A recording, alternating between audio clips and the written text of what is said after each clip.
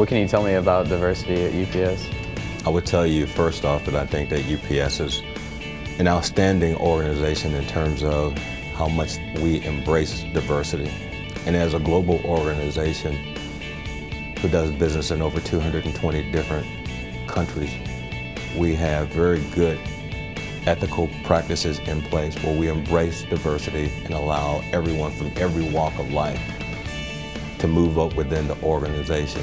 What can you tell us about the different um, diversity programs that UPS uh, give us? We have Women's Leadership Development and uh, through this program we started to understand the needs of the uh, women and we created a special forums to start orienting our females of how they could balance life, which was a key component, how to um, network within UPS so that uh, they could have other opportunities within other departments.